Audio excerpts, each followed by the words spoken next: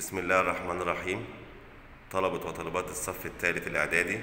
موعدنا النهاردة يا أولاد مع أول درس في القسم الأولاني وهو في الجغرافيا ودرس النشاط الزراعي في العالم. النشاط الزراعي في العالم. زي ما إحنا عرفنا يا أولاد زمان في صف أولى إعدادي إن الإنسان في الماضي كان مارس العديد من الأنشطة الاقتصادية لإشباع حاجاته. لإشباع إيه؟ حاجاته. ودي كان لي حاجات الضرورية. يعني مارس مثلا أنشطة تقليدية زي الرعي زي مثلا أولاد آه، عندي آه، حاجة باستقرار مثلا زي الرعي والكلام ده كله لاشباع حاجاته لاشباع إيه؟ حاجات. حد أتعلم في الزراعة. حد أتعلم إيه؟ في الزراعة.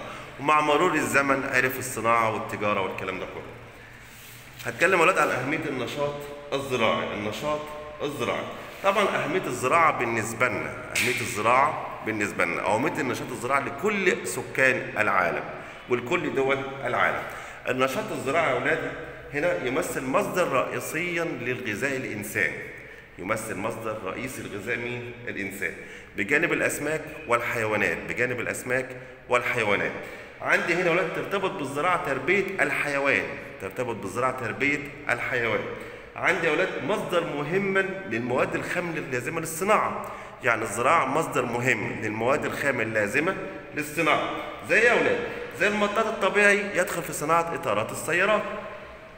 عندي زي محاصيل الألياف زي القطن والكتان والجود يدخل في صناعة في صناعات الغزل والنسيج. طيب لما أقول بما تفسر أهمية الزراعة مصدر رئيسيا لغذاء الإنسان بجانب الأسماك والحيوانات. ترتبط بالزراعة تربية الحيوان. تمد الصناعة بالمادة الخام مثل محاصيل الالياف في صناعة المنسوجات والمطاط الطبيعي في صناعة إطارات السيارات. المناطق الزراعية الرئيسية في العالم عندي يا أولاد نوعين من الزراعة. دي تصير في كل قارات العالم اللي إحنا خدناهم قبل كده. عندي زراعة بسيطة اللي هي الزراعة البدائية وعندي زراعة متقدمة تقسم حاجتين كثيفة وتجارية وعلمية. هنا أولاد ممكن يجي لي في الامتحان قارن بين الزراعة البسيطة والزراعة التجارية بقارن بين الزراعة البسيطة والزراعة العلمية. هنا أولاد لازم ابحث كل واحدة خصائصها فين؟ وتنتشر فين؟ وأهم محاصيلها.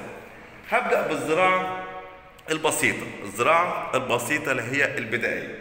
الزراعة دلوقتي خصائصها تستخدم فيها أدوات بدائية يعني شوف من اسمها بسيطة بإذن بتستخدم أدوات بدائية. المساحة المزروعة عندها ضيقة. ومتباعده المساحة الزراعيه عندها ضيقة ومتباعده بتوفر الاحتياجات الغذائية للسكان المحليين. ومفيش فائض للتصدير.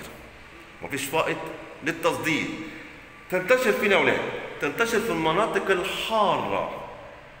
في المناطق الحارة على هوامش الغابات الاستوائية. وبعد مناطق حشائش السافانا تنتشر فين يا في المناطق الحارة.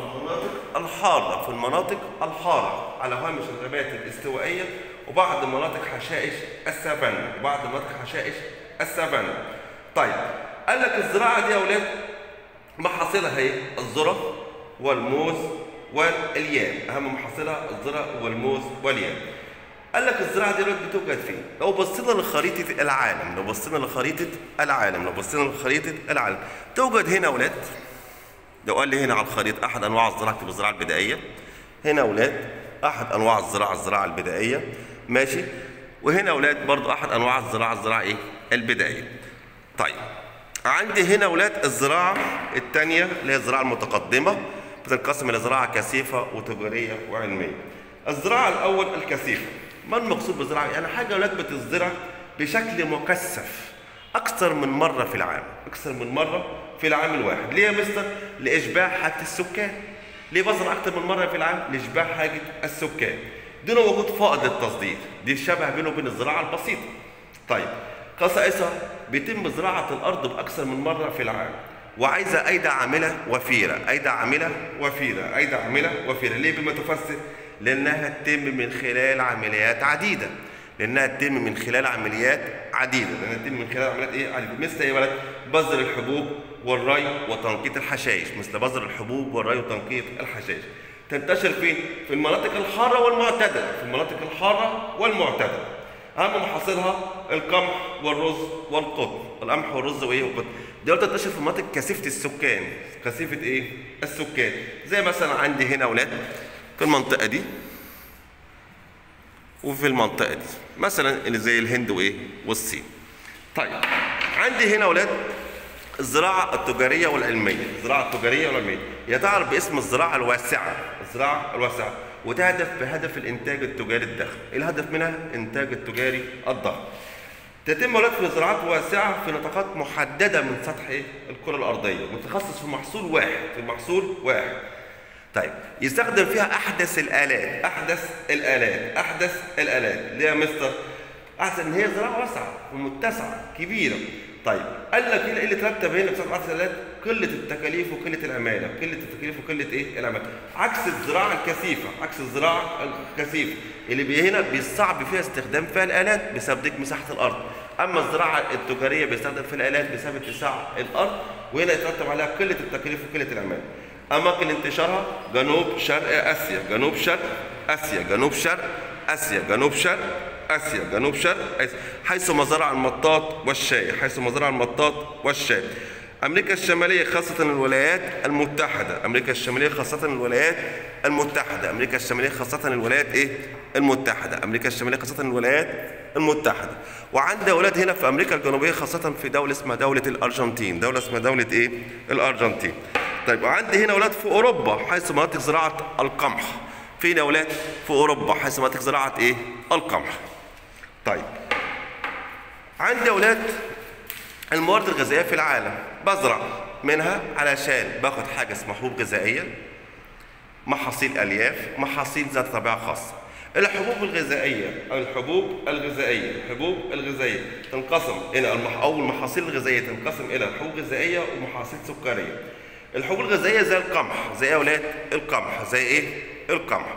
طب هنا القمح ميته غذاء رئيسي لمعظم شعوب العالم. غذاء رئيسي لمعظم شعوب العالم. يصنع منه الخبز والمكرونة والحلويات. يصنع منه الخبز والمكرونة والحلويات. أهم القارات ركز هنا سؤال في جري في الامتحان. اولى القارات في كذا اولى الدول في كذا. اولى القارات في القمح آسيا. اولى القارات في القمح آسيا. اولى الدول الصين والثانيه الهند. اولى الدول في القمح آسيا والثانيه مين؟ الصين الأولى الصين والثانيه الهند. الأولى الصين والثانيه الهند. طب اولى القارات في القمح آسيا. اولى القارات في القمح مين؟ آسيا.